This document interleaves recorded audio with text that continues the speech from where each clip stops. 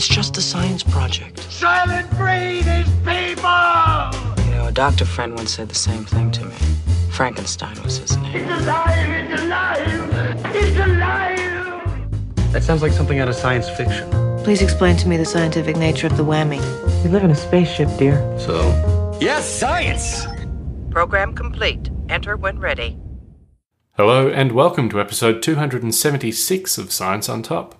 Today's Sunday, the 27th of August 2017.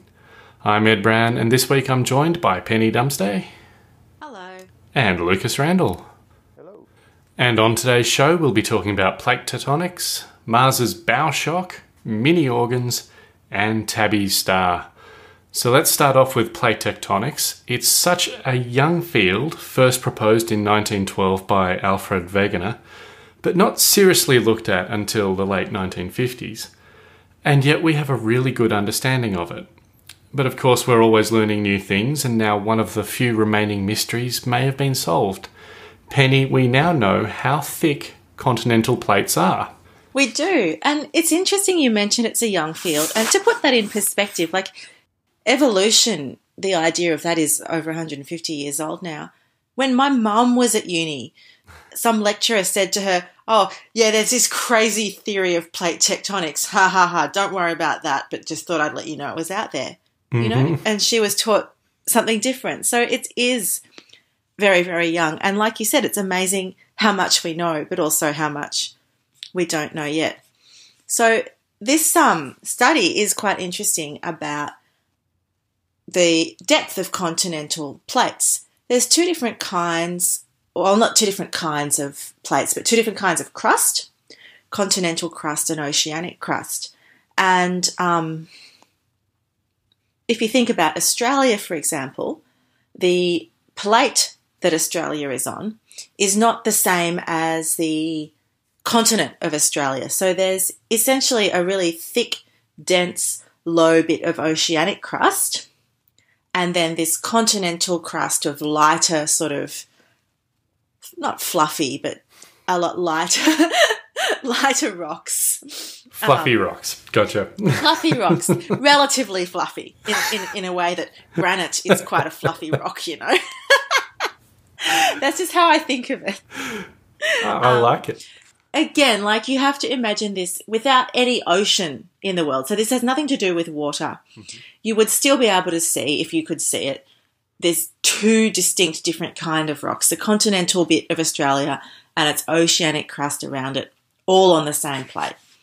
Um, now, not every continent is sitting in the middle of a plate in splendid isolation, but it, that's just an example of the different kinds of crusts. So, as well as these two different kinds of crust, or two different kinds of rock, the Earth also has different layers. So, when you're at school, you probably drew a picture of the Earth and you drew the crust on the outside, um, the mantle in red underneath, and the core in the middle. And these layers are the different kinds of chemistry, or the different minerals that are found in the earth. So the iron, for example, is made of, um, the, sorry, the core, for example, is made of like iron and nickel, and the crust is made of all the minerals that we know, and so on. But the earth is also divided into different layers in terms of how it behaves and how hot and how plastic the rocks are. So you have the lithosphere, which is the the dry, stable, cracking bit on the top, and the asthenosphere, which is more plastic kind of rocks. And in the um, article that I read, um, Cin-Ty Lee has described this really nicely, a geologist at Rice University, as like imagine a hot fudge brownie. So if you poke it at first, it's all liquid, but as it cools, it has that crusty layer on the top, but still it has some gooey stuff underneath. So that's sort of what's happening with the um, the Earth. So the tectonic plates up the top are what we would call the lithosphere, and they're almost floating on this asthenosphere because over millions and millions of years it moves around. So where I really want brownies transition? now. I know. I know. you just made me hungry. I know, right? I know exactly some delicious continental crust. And I guess, you know, we use that word crust. I guess it is like a that baking metaphor is something that we understand, like the surface or the crust of it. Anyway, so what this um, study has done is tried to find where the boundary of the lithosphere is. And remember, that's not necessarily the same as the chemistry. So, estimating it by looking at um, diamonds that come from deep volcanoes can give you one kind of answer. Looking at seismic waves moving through the earth has given a different um, answer. So, funnily enough, we can't go into the earth to, well, not funnily enough, we can't go into the earth to see this. So, there's two different data sources which have been a bit conflicting. But this latest paper reconciles those findings. It uses um, high resolution data from seismic waves from every single continent to uh, estimate the edge of the lithosphere. And they're looking in the middle of plates, not at the um, edges. And so what they found was that the um, lithos- lithosphere tends to be f- from about 130 kilometers to I think about 190. I think it's 80 to 120 miles Yep. below the surface. So That's it's really. I don't know. I just think that was interesting. It's not something I've ever really thought about what we do or what we don't, but it is really interesting to think we didn't know this, and now we do. I think it's also interesting because we always talk about it being a thin crust. And so you sort of think, well, it's it's maybe you know only a few kilometers deep, but it's actually you know 130 kilometers deep is a really thick crust. In it really, um, it's kind of hard to visualize it. It's about the height of 15 Mount Everests, or if you got 350 Empire State Buildings, it'd be that, tall. or 40,000 African elephants. Really, look, it's about it's the length of Delaware. Okay, going down. That's. I hope we all know exactly how deep it is now. I've always pictured though the continents sort of floating in oceanic crust, but like an iceberg, you know. So whatever you see, the Himalayas, Yep. think about what's going on beneath the surface as well. Sure. Yeah. That's very cool. And so these seismic waves that they were measuring, they generated it, or were they generated by Earth? No, no. So these were from um, earthquakes. Right. Okay. Cool. So yeah, I think that that would probably not be ethical to generate a magnitude five point five earthquake, even if we Uh, out. may- but it's That's deep in the supervillain. deep, down in the crust. It's Yeah. fine. Nothing could what could possibly go wrong. Uh, very good point. Uh, it's it's great to just have another puzzle, uh, another piece in that puzzle there, which is very cool. Uh, all right, let's move on to some Mars news now. And the Mars Express orbiter, which is the second longest surviving continually active spacecraft in orbit around a planet other than Earth, and it's been orbiting Mars since 2003 and some of the data it collected has been used by a team of European scientists to determine that Mars's bow shock shifts due to changes in the planet's atmosphere. Lucas, let's pull back and first determine what a bow shock is.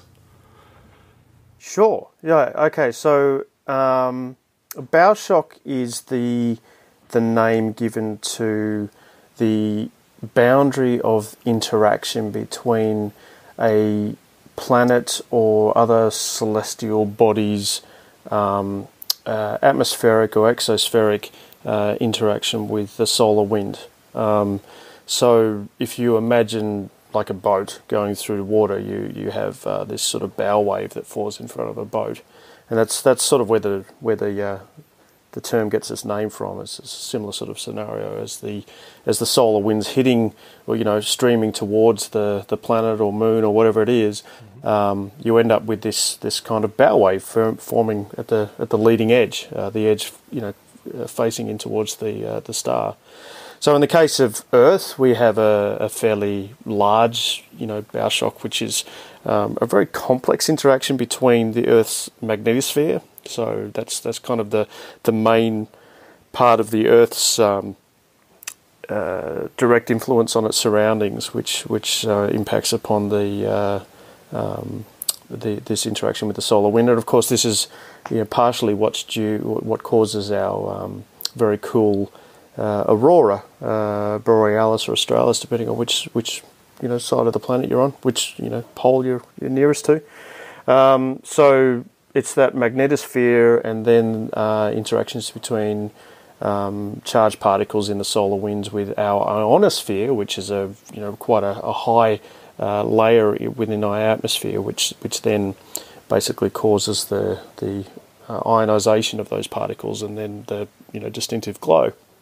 So, in the case of Mars, sorry, go on. So the bow shock is where these these charged particles coming from the sun hit the magnetic field of the Earth and then split around the Earth. Is that uh, how you? Pretty much. It's not just the magnetic field, but yes, in the in the case of the Earth, it's primarily the the magnetosphere that that causes this um, this disruption to the to the solar wind um, and, and sort of changes its directions. But it, um, some of those particles make it to the ionosphere as well. So it's, it's quite complex. And in fact, in the story that I assume you'll include uh, in the show notes, the link to this story on um, Universe Today, there's a there are two diagrams, a pair of, of, illustrations showing the Earth's interaction with the solar wind versus Mars' interaction with the solar wind. And you can see that Mer- Earth's interaction is very complex because of these very, very complex, you know, loops of magnetic fields that Earth has. Unlike Mars, which has a very, very weak magnetic field. Um, it's felt that the uh, as, as Penny was just mentioning in the previous story with the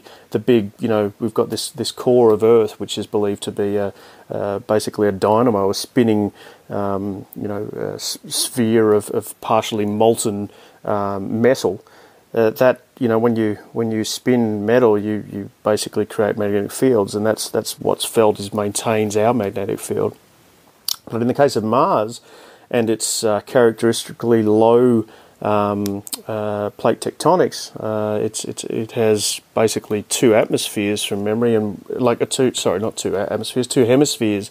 One of which is dominated by Olympus Mons, which is this massive, you know, actually the largest in the in the solar system volcano, long long thought to be extinct, but the um, it doesn't have these these uh, plate tectonic features that we we see on Earth.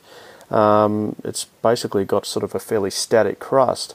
And part of the reason of this is it's felt that its um, its mantle and, and, and all of the the um, dynamics that, that occur in the mantle, which is this sort of broiling, bubbling, you know, um, uh, uh heat exchange that's constantly occurring, um, that doesn't seem to be uh, active in Mars, at least not anymore, and, and certainly for not quite some time. Uh, and as a result, it doesn't have this um, this plate tectonic features, but it also doesn't appear to have a, a, a much of a magnetosphere. It does have an atmosphere, but it's really, really thin, like about 1% of Earth's atmosphere at sea level. So it's a really weak, weak atmosphere. So where all of this leads us is we've we've known for quite a long time that Mars has a bow shock, as indeed most celestial bodies do. Um, but we've we have seen with a variety of instruments over the years that Mars's bow shock seems to change. It has variation in it, which has not been fully explained uh, up until now, and possibly you know still isn't fully explained even with these uh, observations. These observations actually, to me, um, were very interesting because it shows that we tend to. I mean, you know how much I love. Um, deconstructing how we know what we know. That's one of the things I love about uh, uh, about astronomy. But uh, um, th- this particular story also highlighted that there's a whole lot of factors that are believed involved in the in the variation of Mars's bow shock. One of them is is it has quite an elongated or- orbit. It's um, it, it can sort of range um, in its uh, distance from the sun by a, a, fair, a, fairly significant amount. Basically, it's it has a an orbit of um, it, it, goes from about uh, 128, um, um, or let's go into kilometres, shall yeah. we? Uh, 206 uh, million kilometres to 249 million kilometres, depending on where that where it is in its in its orbit. Um, so you know, imagine you, you've you've got a, a planet that, that does move quite a lot within that range, and and as a result of moving in that range. Um, there's a, a, difference in the amount of solar radiation hitting it, particularly the ultraviolet radiation. And this is one of the factors that, that um, this team are proposing is, is um, very much involved because uh, they see that the change in the amount of solar radiation uh, hits the thin Mars atmosphere changes the rate at which ions uh, and electrons uh, are produced in the upper atmosphere, and they and they think this actually increases thermal pressure, which counteracts the incoming solar wind. So it's kind of like it's almost like the solar wind pushes harder, and therefore it pushes back more, which is Wow. which is kind of cool.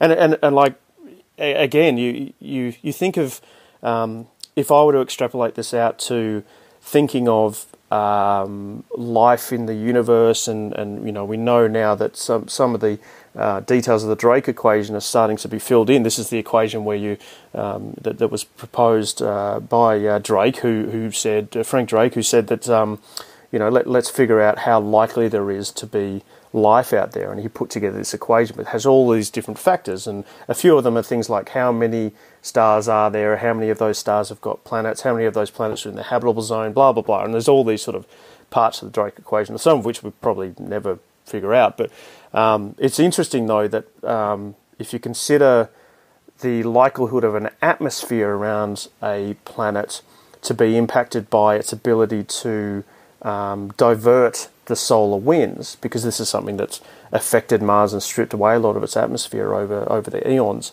Um, even now, with such a very low density atmosphere, uh, Mars is you know diverting some of those solar winds. So you know it's interesting to think about. That I So think anyway, is really interesting because, as you say, it Yeah. doesn't have that internal dynamo. It's not generating a magnetic field. So this must be all from just magnetic fields within the very thin atmosphere, I guess. Well, no, they the magnetic fields. They don't. They don't think are playing much of a role in here. But, Right, okay. but Mars does have an ionosphere, uh, Right. which is a part of its uh, its atmosphere and its exosphere, which is uh, basically think of an extended atmosphere that is slowly leaking. That's kind of what the exosphere is in this in this context. So uh, basically, th- this study has has has added to the body of data about this. So they they feel um, that they weren't able to draw any um, single conclusions from this. They couldn't say, okay, here's the smoking gun. It is this increase in UV uh, interactions, for example, that are uh, that are contributing to the variation of the solar wind, or it is because of the change in its orbit and the amount of other radiation hitting it, or it is because of these cyclical changes in, in whatever, whatever. Basically, all of the different things that have been proposed in the past, such as even dust storms. Um, dust storms on Mars are, are known to interact with the upper atmosphere and ionosphere of Mars. So, you know, as a result, there could be um, some some link between uh, dust storms and bow shock location um, because they they reach so high in the atmosphere. And bow shock means um, ionization of gases. Sorry, the, the dust in the atmosphere could affect the ionization of gases and so forth. So there's a whole lot of complex stuff going on there. But uh, I think what it's interesting about this is it shows that. Um, uh, there is quite a there is potentially a, a direct correlation between distance from the sun in Mars's orbit and the UV radiation. As I say, it's this con- this the scenario of uh, the solar wind pushing harder and Mars pushing back harder as a result, which is which is kind of cool. We do also have, um, I think it's it's Maven, NASA's um, orbiter uh, around Mars at the moment, which is doing a lot of atmospheric tests as well. Uh, I wonder if that might also be able to provide more data, and uh, maybe these teams will work together to investigate this further. Yeah, well, I, I mean that point's actually made in this story where they um, the the author has actually proposed, you know, mentioned that. Um, uh, or sorry, Hall, the the the, this, the lead of this study, has mentioned that um, uh, joint, you know, investigations by the Mars Express team and by NASA's Maven mission might actually uh, uh, help to to um, to figure out more about this. But yeah, it's um, as I say, it was I, it, there were multiple things about this story that just sort of popped out at me as being quite interesting. Um, chief of which was I was actually a little bit surprised that that Mars even really still has a bow shock. Yeah. You know, I kind of I, I've known I've known that it has very very limited atmosphere and does not have a mag- magnetosphere. So, you know, kind of just written it off as okay, well, it's it's screwed because it's having all its it's having you know all of its gases, all of its, all of its volatiles, you know, stripped off by the solar wind. which is why we think it's so barren and desolate now. Because over after eons of that happening, any anything that you know doesn't stay in its state is going to be uh, is going to be lost to space. Whereas Earth, you know, we're lucky we've got this uh, magnetosphere that's, that protects us. It also, I think, shows that even a planet that we think of as being dead, you know, Mars has stopped its internal rotation, it doesn't have any magnetic field or anything like that. We we think of it as just being weak, a, yeah. a dead lump of uh, planet, basically.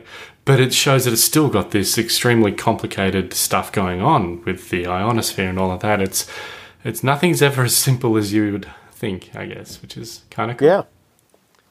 Well, I mean, it's it's not the topic of this this particular story, but I, that by the same token, I think the dynamics at play on Venus are intriguing too, because it's uh, it's a world that's believed not to have um, ongoing um, tectonic activity, um, but it still has an incredibly thick atmosphere, um, which is which is largely because of uh, volcanism that occurred in the past. Um, so its atmosphere over time could well change um, as its interaction with the solar wind might um, might impact it and start stripping part of the atmosphere off. So although it's you know incredibly inhospitable now, um, I'm very interested to know more about what its future may hold. Give it a few billion years. Who knows? Yeah, a few billion years. yeah, I'll I'll, uh, I'll set a, an alarm on my phone. on your cryopod. All right. Um, Penny, when we think of 3D printing stem cells and growing artificial organs, it's usually in the context of transplants and trying to build replacement tissue and organs. But Maria Cheng has written a really fantastic article for the Associated Press that looks at how building mini organs that are the size of a pencil point can be used for a lot more, like determining which drug will be most effective against cystic fibrosis, for example. Yeah, I thought this was fascinating because, well, I think like a lot of us, when I read the headline, which was, oh, I think it was um, lab made mini organs helping doc- doctors treat cystic fibrosis, I thought, what? They've made miniature lungs and the, the miniature, you know? But what this Sort actually of. is, is a bit more elegant than that. Um, cystic fibrosis is a pretty horrible disease. It's a um, genetic disease, a change in a single gene, and essentially the mucus that is made is just really, really thick and sticky, which, if you think about it, most of our internal body surfaces are lined with mucus. So, for example, our lungs um, are lined with a mucus membrane. And if that is really thick and sticky, then it gets incredibly hard to breathe. So people can have a lung transplant, or there's also certain um, treatments that can be used to help people with cystic fibrosis have a better quality of life. But like many things in medicine, these treatments can be expensive. Um, you know, new drugs that are developed are not not cheap. Um, they can also be ineffective. Like it's just because it's a one gene doesn't mean it's always the same mutation and the same um, like cause of the problem or the same manifestation in every patient. So it's very possible that someone could have a very expensive um, treatment that may not work for them, and someone else that it would have worked for might miss out. Or even just that the you know the, the it's it sounds horrible, but I mean it is economic that an expensive treatment that is ineffective could have been used so much more effectively elsewhere. So this is where this research comes in. It's not a miniature um, lung, but essentially a miniature gut, the size of a pencil point. So really, really, really small. And this gut was grown by taking a sample of um, stem cells in the gut and growing them in essentially little petri dishes. So these guts are apparently complete. They don't have muscles, they don't have blood vessels, but they do have everything you would expect to see in a real gut on a small scale. But they also um, mimic certain features of the full size organs. And the way it's used in um, in cystic fibrosis research is you can actually, or it, it's actually possible to test different drugs on these mini guts um, to see if the pa- if it will actually work for that patient. That's So, so cool. essentially, that is so cool. And I just you just think about all the applications, like especially because I mean I don't know about these cystic fibrosis drugs, but I know that a lot of treatments people take, you know, have hmm. side effects that you, you don't want to undergo that unless you know it's going to work. So again, this is something like that I feel is in a way so obvious.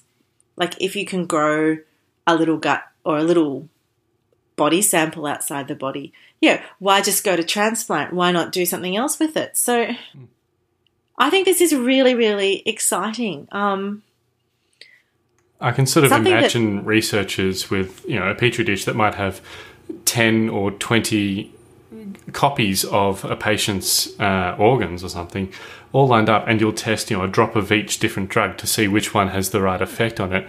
You could accelerate and streamline that diagnostic process so much uh, better. It'd be great. Yeah, and apparently in the Netherlands, where this research was done, there's about 1,500 cystic fibrosis patients, and these mini guts have been grown already for 450 of them.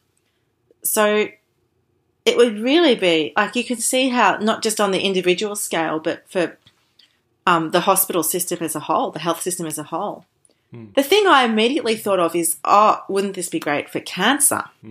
Um, if you could grow a little tumor and then test drugs on it to see what's going to be effective because I don't know a lot about chemo, but I get the impression it's sometimes a bit hit and miss. Like you don't always know what's going to work on that particular cancer in that particular patient.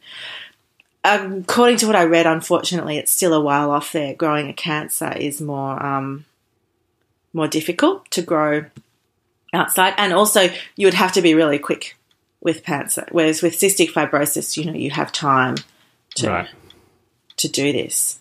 But I don't know. Like sometimes I feel that everything we talk about on Science and Clock Talk is well, it's it, it's it's either space based or if it's Earth based, it's a bit doom and gloom. But I don't know this, This is a very positive story, I think.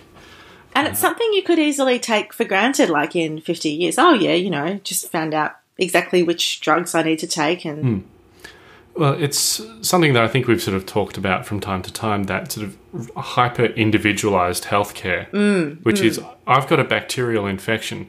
So rather than give me broad fact, uh, broad spectrum antibiotics, let's find out exactly what type of bacteria you've got and exactly Yeah. what antibiotic will kill just that. And the same for uh, genetic disorders and other things. If you can target the uh, disease precisely, you minimize the side effects, you uh, maximize the treatment benefits. Uh, it's where we need to be heading, but of course, it's the expensive approach as well, and it's uh, often time consuming. So, But yeah, that's hey, what I thought was interesting about this is in a way it's it's cheaper to do this than it is to just give that particular medic uh, you know particular medicine. yeah, and So- Mm. quicker as well because you're not trying it on the patient, seeing how it goes after a few weeks or whatever. You can do it multiple options at a time. Very, very cool. Very exciting. And speaking of exciting, Lucas, there's yet another theory to explain the strange dimming patterns that we've observed from KIC 8462852, or as it's more commonly known, Tabby Star, or as it's even more commonly known, the star with the alien megastructure that's definitely a Dyson sphere. Come on, we all know it is.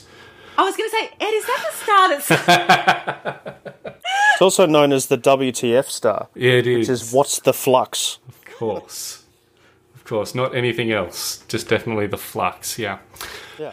Uh, all right, so what's this latest theory all about then? Well, th- this has been proposed as a mechanism at play before, but what's different here is that um, there's some modelling that shows that it's uh, uh, exactly how it could work, and the the um, hypothesis here is that a a ringed planet transiting Tabby's star with a uh, tilted ring um, uh, configuration could actually lead to very much the same signals as have been picked up in terms of the light curve and the, the change in the light uh, in front of the star, um, which is pretty cool because, you know, as much as you can propose potential um, mechanisms to, it to explain the observations, what you really want is some mathematical modelling that can uh, result in as close as possible to what you've seen in real life, rather than you know just just wild ass guesses.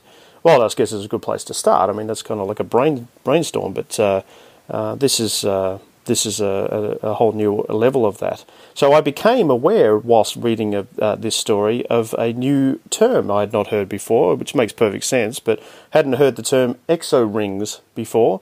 Um, anyone has it a guess as to what an exo ring is? No, but it sounds uncomfortable.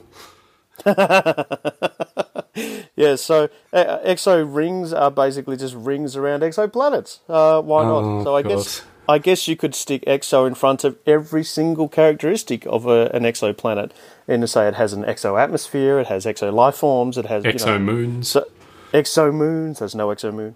Um, yeah. So so exo exo rings. Um, so as I say, you know, this this really was uh, primarily a, a, a modelling study based on what I, I read. Um, and if you were to place a sort of a Saturnian like um, uh, planet on a very close orbit with the star, like think sort of 0.1 AU, so really really close to the star, then um, its apparent size compared to the star would be enough that even its rings would cause some occultation of the star and thus a dip in in light. And you know, if you think of something like Saturn, which has incredibly large rings, um, uh, or years, as uh, as it was originally thought. Um, uh, then you know that this is this kind of makes a little bit of sense, and and I've I've some of my favourite uh, desktop wallpapers, uh, which I've got this you know constantly changing backgrounds, which are mainly Hubble images and things like that. But I've also got a massive amount of uh, Cassini images um, from from the backlit ring systems and the shadows and the contrasts that are made um, by the ring system as it as it uh, creates shadows over Saturn because of the, the angle of the star and so forth. And you know that, that gives you an idea of just how much light they're capable of blocking, um, and also how much light they're capable of reflecting uh, if it's on the other side. So it, it makes a lot of sense. Um, they also propose, they further propose that this mechanism could actually explain some of the other currently not fully understood light curves that they've seen around other stars, uh, which is kind of cool. So, it, as they said, that basically these other other teams that have discovered other exoplanets with slightly bizarre um, uh, light signatures maybe discovered ringed planets. They just didn't know it. So that, that's also pretty cool. So I guess when you say that the rings are tilted, they'd almost have to be completely on its side, sort of like Uranus, where, which is flipped. Um, so its rings go vertically almost, as opposed to in line with the elliptical plane. But obviously, Yeah. we don't we don't really know what orbit direction uh, Tabby's star goes at. Yes. Uh, but so uh, depending on how rings are formed, if rings are formed by, um, for example, maybe interactions between moons, maybe moons might collide together around um, a planet, then you would expect that those moons, if they formed with the planet, would be on the same um, uh, the same orbital plane as the planet, because that tends to be how things form. They, you know, they, that's why all our planets that are called planets, not planetoids, um, you know, all of the other uh, names that they now have, Kuiper Belt, whatever the freaking Kuiper belt objects, yes. yeah, and all the uh, what, what's the Oort what's cloud. the new? I want to be a planet, but I'm not. Characterization. I can't remember. Dwarf planets, minor planets. Dwarf planets. That's it. There we go. Yes, dwarf planets. I'm not a planet, but I want to yeah, be a so planet. anything that's that's still called a planet in our in our um, our star system, which is called solar because it's Sol. That's our planet. God, it annoys me when I Our read sun. stories that they talk about the solar systems, other solar systems. There aren't. It's ours. It's ours. Ours is the solar system. Sorry, I think there should be other star systems. Yeah, yes, star Hmm. systems exactly. Anyway, um, I think that's being a yeah. little So bit picky. uh, all of our planets are on the same orbital plane, um, and and across the sky they're in a line which is called the plane of the ecliptic, so or an arc, I should say. So um, you would expect that uh, rings would be on a on a similar orientation if they had formed that way. But there's a whole lot of ways you can form rings, and basically, you know, collisions that can occur between trapped objects. Um, we've also got even some of our planets are not, um, you know, not orbiting in the same uh, plane as you would expect. Some are completely upside down. So, you know, it's there's all sorts of weird things that could happen that could cause a ring system to be inclined or some sort of, um, you know, um, op- you know, not not lined up with the with the uh, ecliptic. And Saturn's like that too. So, you know, there's there's lots of reasons it could be that way. Um, they also were talking about, and I actually found this pretty cool, that if the if a ringed planet such as Saturn were close enough, like around that 0.1 AU, an AU being, by the way, the um, an astronomical unit, which is the, the the measurement of the Earth's average orbital distance from the Sun. So 0.1, 10% of the Earth's distance from the Sun, on average, is where this planet could you know could potentially be. And if that were the case, then the star itself would have some gravitational effects on the rings. So you could end up with warping of the rings, the stretching of the actual ring systems. Imagine that. That'd be cool. That'd be really cool. Plus, if it's that much closer, it's going to be going that much faster. It's going to be spinning around really quickly.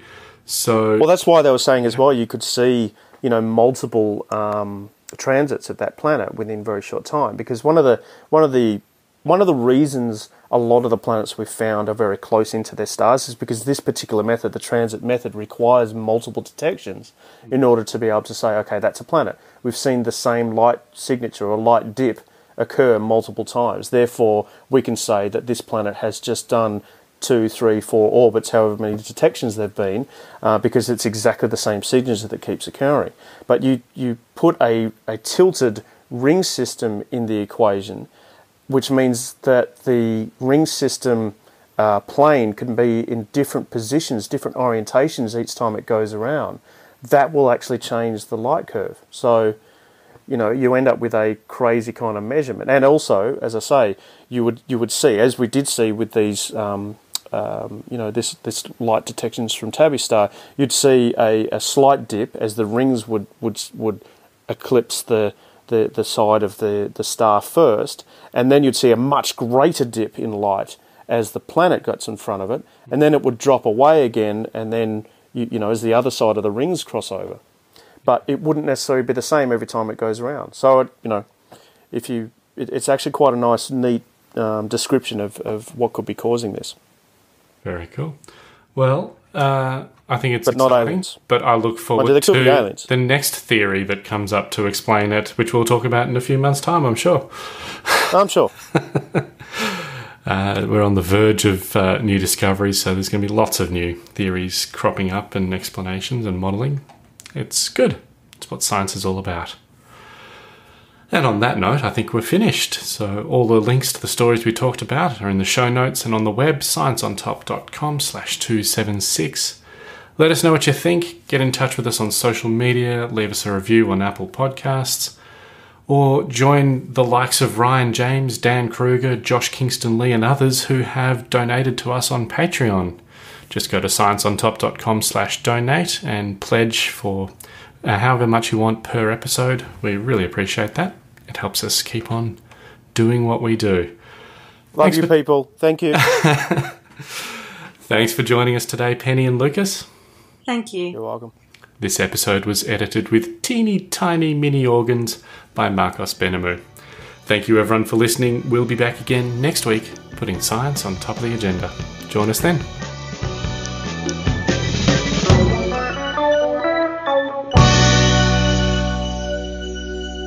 There's a lot of risk associated with Falcon Heavy. Real good chance that that vehicle does not make it to orbit. Um, want to make sure set expectations accordingly.